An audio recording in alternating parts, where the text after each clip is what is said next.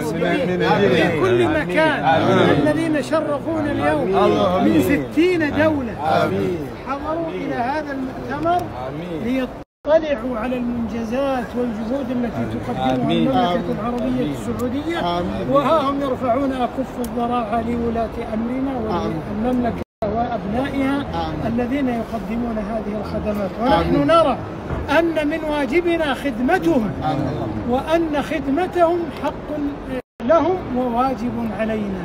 ونعدهم إن شاء الله. شاء الله. كما نعد ولاة أمرنا أن نعمل بجد واجتهاد وجودة وتنافسية وصدق وإخلاص وأمانة في خدمة الدين والدولة.